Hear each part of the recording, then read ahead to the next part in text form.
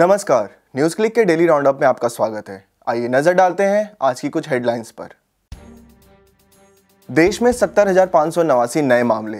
28 दिन बाद पहली बार प्रतिदिन मौत का आंकड़ा 1000 से नीचे। तेज़ी से पिघल रहे हैं सतोपंथ और ऋषि गंगा ग्लेशियर। अफ़गानिस्तान 14 नागरिक और दो सुरक्षा बल सैनिकों की मौत। मेरी बेटी किसी से डरती नहीं।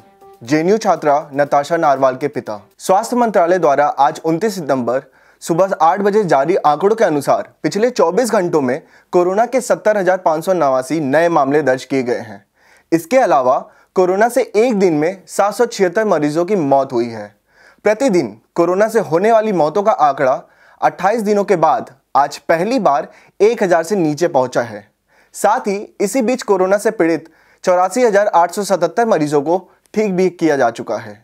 इसी के साथ रोज़ाना बढ़ रहे सक्रिय मामलों में पंद्रह मामले कम हो गए हैं। देश भर में अब कोरोना के मामलों की कुल संख्या इकसठ लाख पैंतालीस हज़ार दो सौ इक्यानवे हो गई है, जिनमें से अब तक छियानवे हज़ार तीन सौ इक्यासी मरीजों की मौत हो चुकी है। स्वास्थ्य मंत्रालय की ताज़ा जानकारी के अनुसार रिकवरी रेट में ज़ीरो दशमलव चार तीन फ़ीसदी की बढ़ोतरी के साथ रिकवरी रेट तिरासी दशमलव एक फ़ीसदी हो गया है। यानी कुल संक्रमित मरीजों में से अब तक इक्यावन लाख एक हज़ार तीन सौ संतानवे मरीजों को ठीक किया जा चुका है।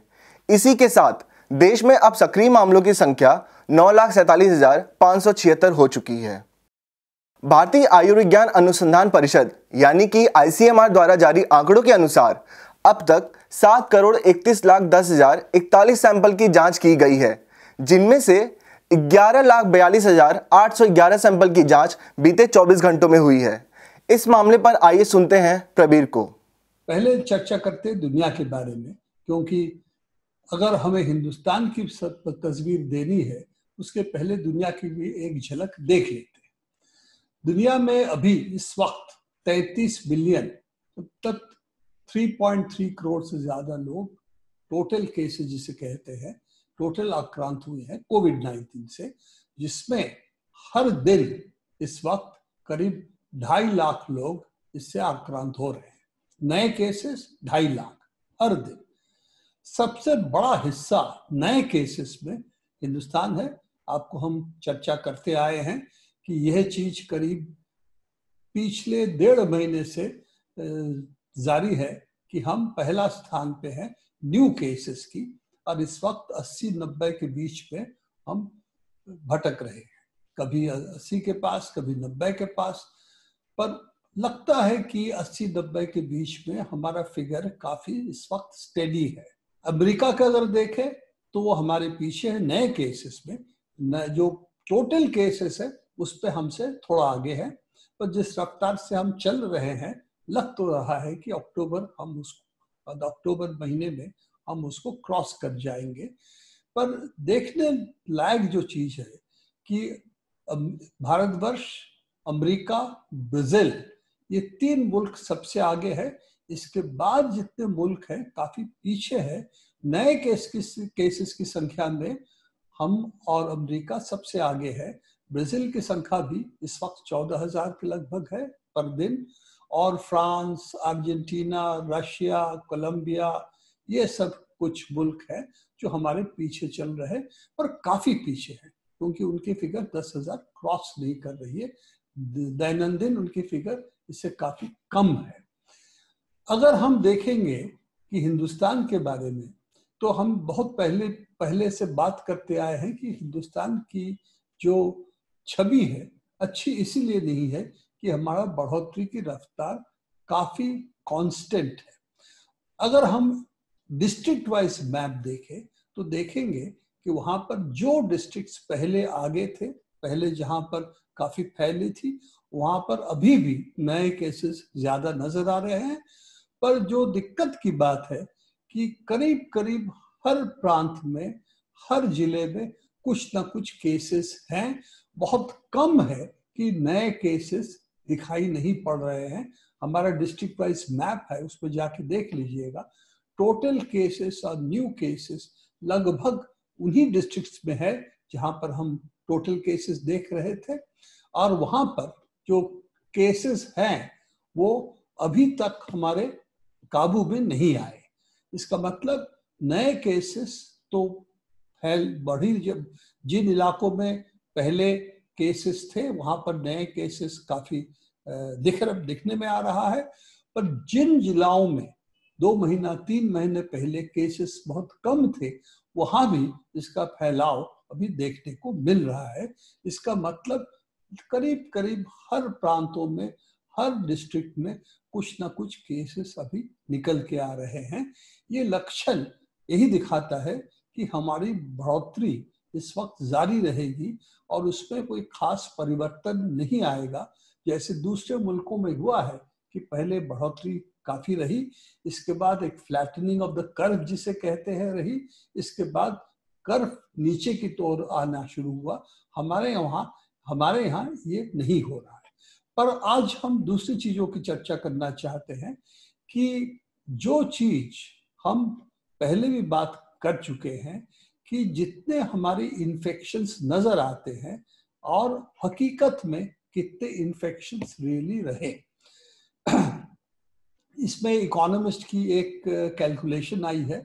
मैं उसको आपके सामने रखना चाहूँगा कि जो कहता है कि सरकारें क्यों कोविड 19 को गलत समझ रहे हैं, क्यों उस पर काबू नहीं आ पा रहे हैं, कुछ मुल्क कर पा रहे हैं, कुछ मुल्क नहीं कर पा रहे हैं। तो उसके विश्लेषण में मैं नहीं जाना चाहता हूँ, मैं सिर्फ़ आपके साथ एक चार्ट उनकी शेयर करना चाहता हूँ, जो आपके सामने है कि सेरो प्रेवलेंस स्टडी जो है उससे क्या निकलता है? सेरो प्रेवलेंस स्टडी है क्या? सेरो प्रेवलेंस स्टडी है कि हमारे शरीर में एंटीबॉडीज कितने दिखने को मिल रहा है। वो, उस, वो ये बताता है कि हमारे अंदर वायरस आया था और हमारा शरीर के अंदर जो इम्यून सिस्टम है, उससे मुकाबला किया। मुकाबला करने के बाद तीन चीज़ हो सकती है। एक तो है कि आपके कोई लक्षण ना हो। मतलब मुकाबला ऐसा ज़बरदस्त हुआ कि जो ही जर्म्स माइक्रोब्स या वायरस आए, उस पर हम काबू पा लिए तो कोई लक्षण, बीमारी की हमारे अंदर नज़र नहीं आया ये तो पहला पदक्षेप है और हो सकता है कि काफ़ी पैमाने में लोगों में यही हुआ दूसरा है कि लक्षण आए बीमारी की, जो कोविड 19 की सिम्टम्स हो हमारे शरीर में, वो दिखाई पड़ा, पर बहुत कम मात्रा में दिखाई पड़ा। और क्योंकि इनिशियल स्टेजेस में अगर ये होता है जहाँ पर टेस्टिंग बड़े लिमिटेड थे, ज़ाहिर है कि वहाँ पर तब टेस्ट नहीं होगी और कम लग अगर थोड़ा बहुत है भी, लोग उसमें घर पे रहेंगे और कुछ कहेंगे नहीं और ठीक भी हो जाएँगे। तीसरी जो संभावना है कि लक्षण काफ़ी नज़र आए, टेस्ट हुआ, पता चला कोविड 19 है। ये भी है कि कोविड 19 की टेस्ट क्योंकि पहले ज़्यादा मौजूद नहीं था, इसके माने ये है कि इनिशियल फ़ेज़ में जब हमारे यहाँ मार्च से लेकर मान लीजिए मई, जून तक ज़्यादा टेस्टिंग हुई नहीं थी। और इसके वजह से जो लोग सेरो प्रेवलेंस से अब ज़ाहिर हो रहा है, उनके अंदर जो वायरस थी और ये तो कम लक्षण थे, ये तो उन्होंने लक्षण को बताया नहीं था, ये तो टेस्ट नहीं कर पाए तो वो ठीक भी हो गए। और सिर्फ़ उसमें से चंद लोग ही अब उनके हमारे केसेस के रूप में सामने आए कि उनकी टेस्ट हुई और वो पॉजिटिव निकली। तो ये जो है, हर मुल्क में करीब करीब यही हुआ है कि कुछ लोग टेस्ट से पता चला कि ये हुए हैं, कुछ लोगों को टेस्ट से टेस्टिंग ही नहीं हुई और वो जो है टेस्ट कराए ही भी नहीं। तो ये कैलकुलेशन इकोनॉमिस्ट की है कि करीब करीब सेरो प्रेवलेंस दुनिया में और भी जगहों पर सेरो प्रेवलेंस स्टडीज़ हुई है, जिससे एंटीबॉडी से पता चलता है कि जर्म्स या वायरस आए और उसके बाद उससे मुकाबला शरीर ने किया, बीमारी के लक्षण देखे, न देखे। तो उससे जो पता चल रहा है कि लगता है दुनिया में कि 20 से कुछ जगहों पे 100 गुना ज़्यादा लोग बीमार थे, या तो उनके अंदर एंटीबॉडीज थी, इसका मतलब जर वायरस आया था, पर वायरस से शायद कोई बीमारी के लक्षण उनके शरीर में नहीं आया। ये दोनों को अगर मिलाएँ तो सेरो प्रेवलेंस स्टडी से जो निकलता है कि जो लोग इन्फेक्टेड थे, मान लीजिए, समझ लीजिए इन्फेक्टेड का मतलब बीमार के लक्षण उनमें नहीं था, पर इन्फेक्शन आया था शरीर में, वो शायद 30 मिलियन अगर कंफर्म केसेस है तो शायद 600 मिलियन एक्चुअली इन्फेक्टेड थे। ये फिगर्स ये नहीं दर्शाता है कि इतने लोग बीमार थे। ये सिर्फ़ बताता है इतने लोगों के अंदर एंटीबॉडीज हैं। और बीमार शायद अगर 30 मिलियन कंफर्म केसेस है, क्योंकि टेस्टिंग कम रही, बाद में ज़्यादा हो रही है तो उससे शायद पाँच गुना लोगों के अंदर लक्षण बीमारी की थी, पर टेस्ट नहीं हुआ था, इसीलिए कंफर्म नहीं है।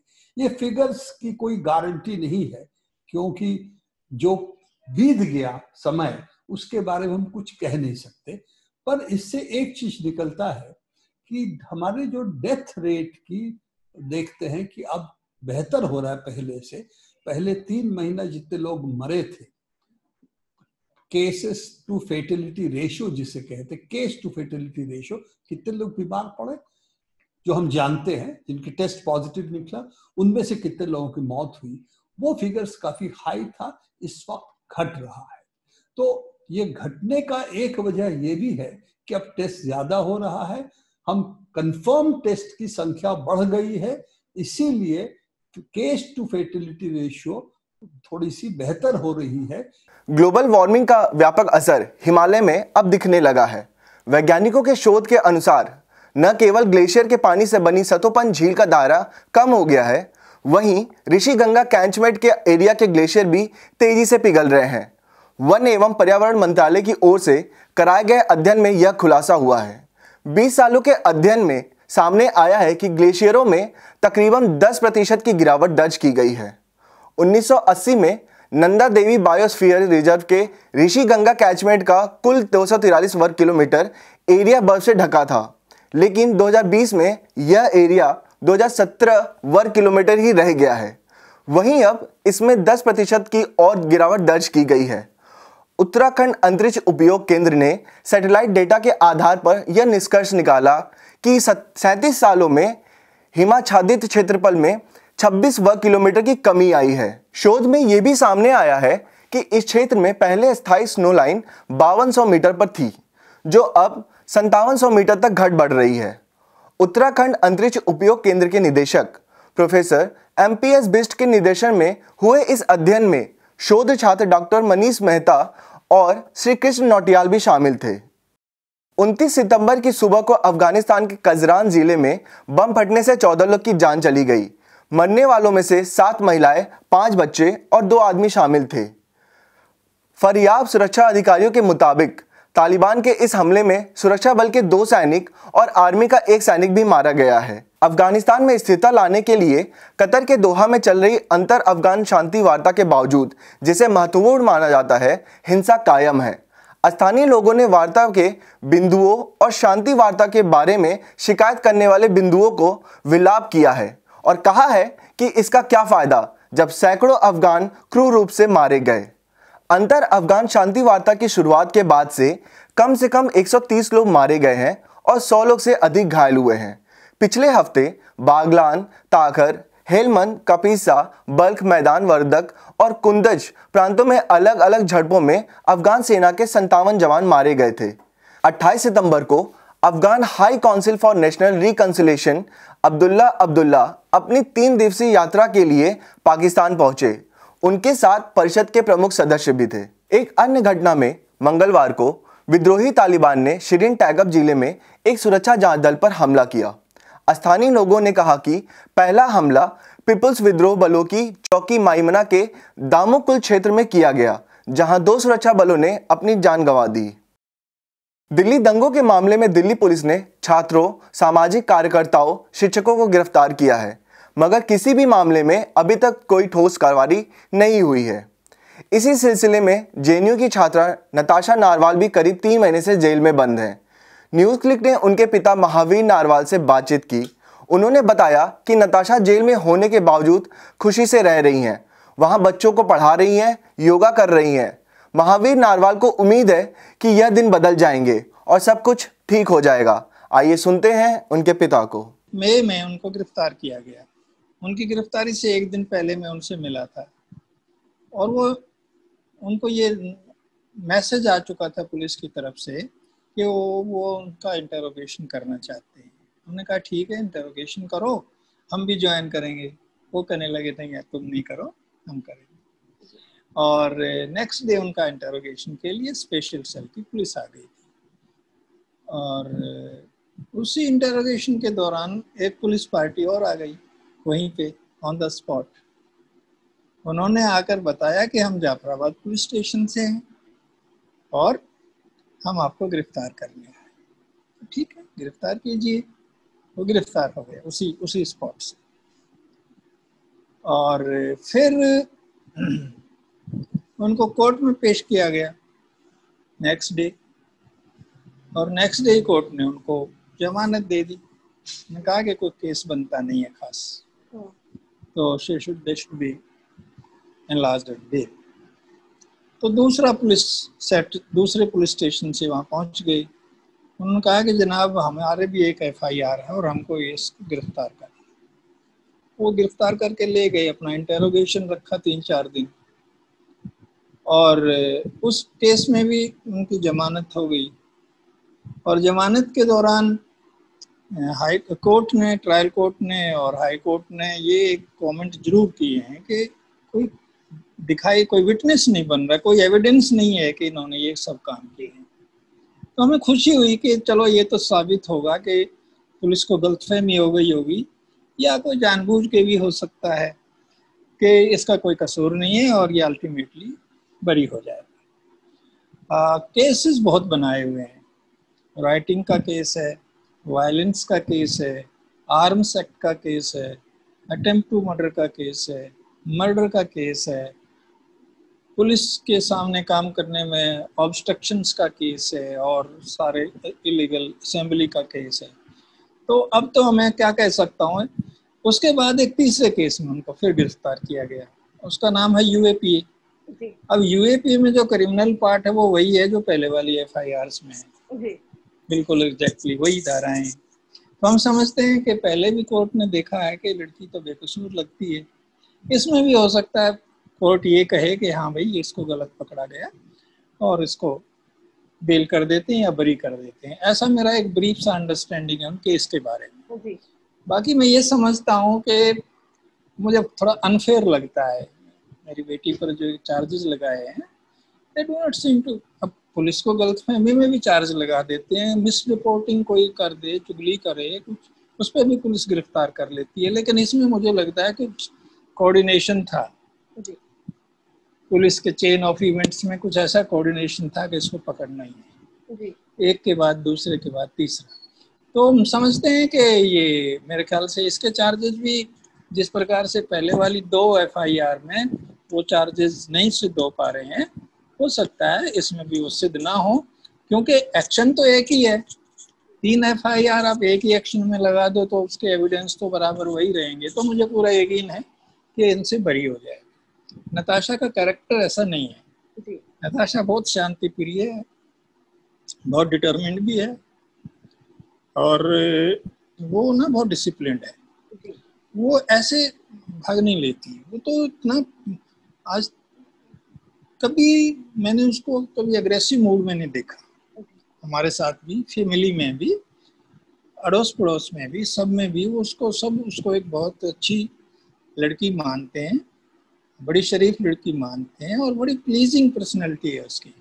यहाँ हमारे घर आती है तो गली के पिल्ले भी खेलने आते हैं, उससे कि नताशा आ गई, चलो खेल के आते और वो योगा करती है तो वो पिल्ला लोग भी साथ साथ बैठ जाते हैं। वो तो इतना एक प्लीजिंग पर्सनैलिटी है। वो तो ये मुझे लगता ही नहीं ये कैसे हो गया। हाँ वो अपने विचार जुड़ा फर्म रखती है।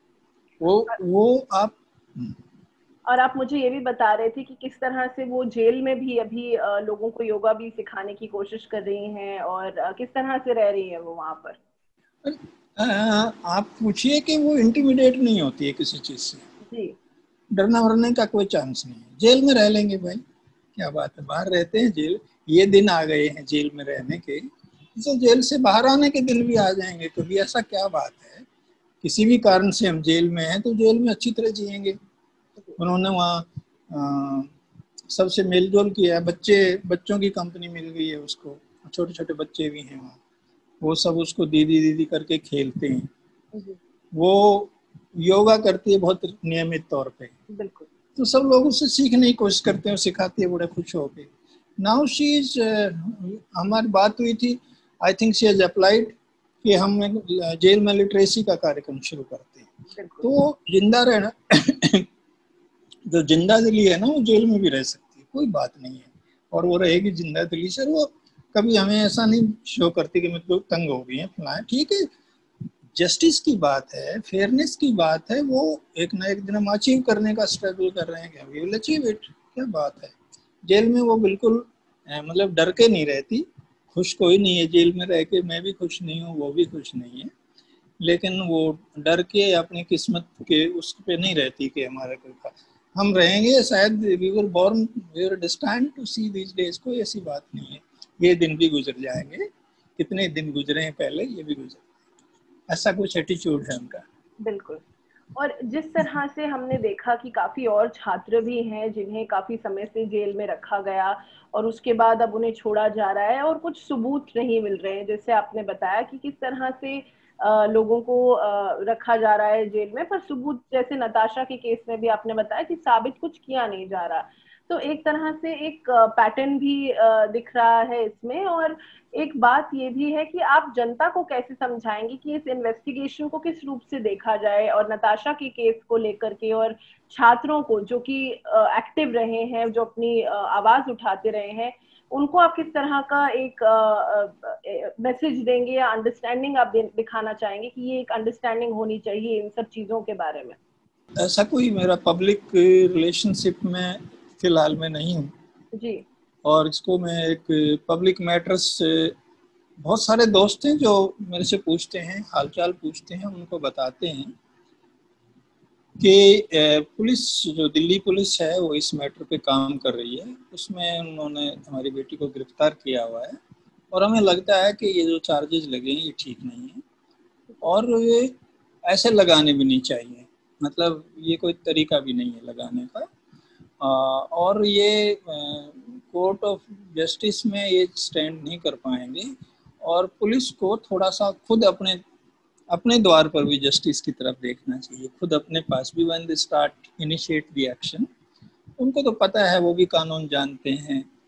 वो भी थोड़ा सा they should be fair to be all और बहुत मामूली से छोटे से बात के ऊपर बड़े बड़े धाराएँ लगा दी जाएँ और बड़े बड़े एफ़ आई आर बना दिए जाए यू जैसा है। यू ए पी ए का मतलब ये है कि लंबे टाइम तक चल जाता है कई बार। So there seems to be an attempt कि भाई जो है ना सजा होती है नहीं होती है, यही सजा है कि वो जेल में है। तो मुझे लगता है कि पुलिस के इस एटीट्यूड में भी सुधार आ जाएगा। लोग बात कहेंगे, समझाएँगे, कोर्ट में जाएँगे, हम भी कहेंगे। तो हो सकता है कि सिचुएशन बदले और justice wave of justice comes up sometime Uh, तो घर पर जो पहला the first love she had was her education and in a trust of education you know she has reached to the highest pinnacle of education PhD in JNU is really a dream thing ये मैं भी खुश होता हूँ इसको देख के। मेरी बेटी भी खुश है। और मुझे यकीन है कि उसके जो एजुकेशन का जो उसका परस्यूट है वो रिवर्स नहीं होगा। आज के दिन रिवर्स हो जाएँगे आज की सिचुएशन रिवर्स हो जाएगी चार्जेस रिवर्स हो जाएँगे। लेकिन उसकी जो पर्सनल जो उसका एक शूट है जो उसकी अचीवमेंट है उसके साथ रहेंगे। And this is all as father I wish all the best और किस तरह के एस्पिरेशंस हैं आगे नताशा के? क्योंकि वो पीएचडी कर रही थी तो आगे वो एकेडमिक्स में जाना चाहती हैं क्या करना चाहती हैं? और नहीं दर्श हाँ ये खास बात है। उन्होंने एजुकेशन अटेन करते वक्त ना गोल्स नहीं बनाए। उन्होंने सिर्फ़ एजुकेशन को अटेन किया है और उसमें आगे बढ़ते जाना है। Nasrin she has been a very good student all through और वो जो पढ़ती है ना वो किताब के बियॉन्ड पढ़ती है। किताब पढ़ते पढ़ते भी वो दुनिया में चली जाती है। इसलिए वो पढ़ना बहुत मीनिंगफुली पढ़ती है। हम्म। विचार भी डेवलप होते हैं सोशल कंसर्न्स uh, भी डेवलप होते हैं। उसमें फिर आपको ह्यूमन वैल्यूज़ भी डेवलप होती हैं। कई बार तो वो किताब से ही निकाल के देखती पापा ये गलत लिखा है आप तो she has always been analytical she has been straightforward never intimidated and never curses her luck she says that she will work and she will get through अगर वो कई बार उसको जे में एडमिशन लेने के लिए उसको एक साल वेट करना पड़ा। कहते हो जाएगा कोई बात नहीं। हम फिर ट्राई करेंगे फिर ट्राई करेंगे हो जाएगा हो गया। सो so, उनका ऐसा एटीट्यूड है एडुकेशन में फ़र्स्ट थिंग दूसरा ये है कि उसका जो मैं पर्सपेक्टिव देखता था वो डिस्क्रिमिनेशन को पसंद नहीं करती। घरों में भी डिस्क्रिमिनेशन होता है समाज में भी डिस्क्रिमिनेशन होता है पॉलिटिक्स में भी डिस्क्रिमिनेशन होता है। और जस्टिस के सिलसिले में भी बहुत डिस्क्रिमिनेशन बहुत है। और वो डिस्क्रिमिनेशन इसलिए उनका जो रुझान था, वो महिलाओं के साथ जो डिस्क्रिमिनेशन होता है, घर में भी, समाज में भी एजुकेशन में भी तो उनका जो ध्यान गया, वो young student young girl student जो हॉस्टल्स और पीजी वगैरह में इतना उनके साथ इंजस्टिस होता है, इतना ऑपरेशन होता है इतना उनके ऊपर दबाव पड़ता है। उसकी तरफ़ उनका ध्यान गया बिकॉज़ उसका अपना पर्सपेक्टिव है कि इंजस्टिस जो है वो डाइजेस्ट नहीं कर पाते। वो पिंजरा तोड़ के रूप में वो उभरा है कि ये तो पिंजरे बनाए हुए तो हॉस्टल वगैरह को और ये हो जाने चाहिए ब्रेक होने चाहिए, लड़कियों सेट सेट दम फ्री ये इंसान है, वो अपने आप को सब डिफेंड भी कर लेंगे और जब बहुत सारे लोग होंगे इकट्ठे तो कोई कोई खतरा नहीं है कोई डर नहीं है ये फॉल्स नैरेटिव है लड़कियों को रोकने का। इस पे उन्होंने बात करती रही मेरे साथ भी कई बात की है। पिंजरा तोड़ इससे आगे मुझे तो लगता नहीं कहीं कुछ और चीज़ है। और पिंजरा तो बहुत फैसिनेटिंग है बहुत अच्छा है बहुत कलेक्टिव वो है ये तो लड़कियों की समानता के लिए एक छोटा विचार है छोटा संगठन है और है बहुत खूबसूरत मुझे अच्छा लगता और उसको और से पिंजरा तोड़ को यूज़ करके कहना कि हाँ नहीं वो ठीक नहीं है वो ठीक नहीं है बिल्कुल ठीक नहीं है। ये सिंपल एक्सप्रेशन है महिलाओं का against the inequality and against the operation उसका वो एक्सप्रेस कर रहे हैं जब ज़्यादा लोग हो जाते हैं तो संगठन जैसा लगता है और यही है इसको।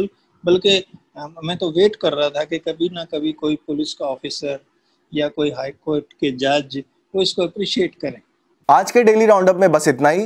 न्यूज़ क्लिक के यूट्यूब चैनल को सब्सक्राइब करें। साथ ही देश और दुनिया की अन्य खबरों के लिए हमारे हिंदी और इंग्लिश वेबसाइट भी ज़रूर देखें।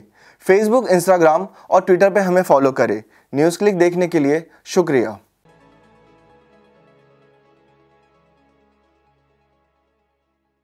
you